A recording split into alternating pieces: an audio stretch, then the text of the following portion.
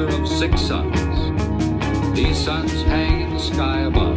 Never less than two shine down for the entire 23.8 hours of the planet's day. The yellow light has burned down on the planet continuously. X minus one. Imagine darkness everywhere. No light as far as you can see.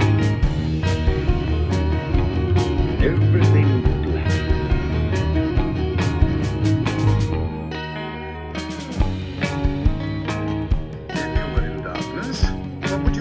than anything else. What would it be that every instinct would call for?